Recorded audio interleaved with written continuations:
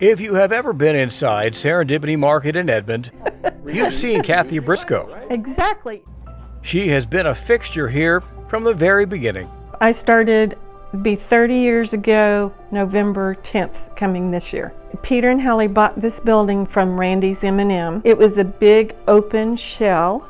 My husband and a group of volunteers and Peter and Hallie, Sherry the worker here, Ginger the old manager, we built these walls. We designed this space. When my husband was anchoring the walls, Hallie's children and my children, grandchildren became very acquainted and they put their hands over their ears and when Papa would holler, fire in the hole, and then right, yeah. and, but they would sit and play with the scraps. What we didn't know at one point was that you had to have permits, and so we were almost finished, and the fire marshal stopped, and he stopped us dead in our tracks.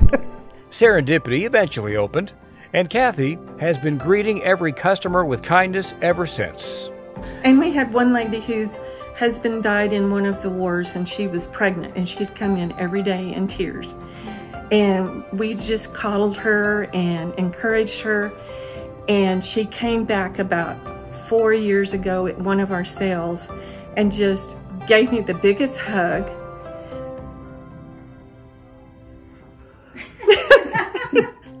she brought the 12 year old girl that she was pregnant with oh. with her. And it was so sweet.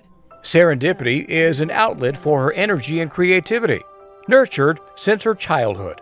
My grandmother started me painting when I was eight years old with paint by number. My mother started me about that age sewing, making Barbie doll clothes.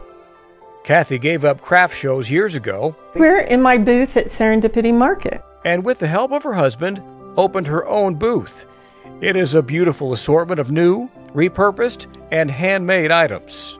He said, why not try it? He's an amazing woodworker and welder. Yeah, we love working on things together. And he does corbels from scratch, from himself. I find objects and remake them. I, I love doing floral, so I love these pieces.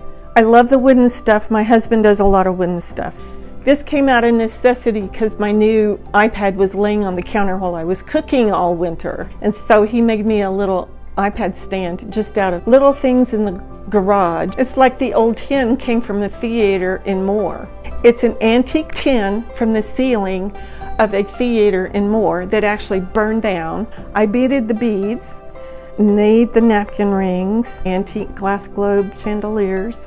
I have pretty flowers and lanterns and then you turn around and I have a camping lantern for the men and flower pots and rain chains and little floral pieces and bunny rabbits and I specialize in birds. I've always loved birds and if you need a bird for a little corner usually I'll have something you can use. Well, you're going to find more unique things here than you will on Amazon. Here you get to touch them and feel them and see that they're the size you want. And then somebody will have a birthday and you've forgotten them. It's like, oh, I know where to go. I can get a present and I can get a bag and tissue paper and a card all in one place.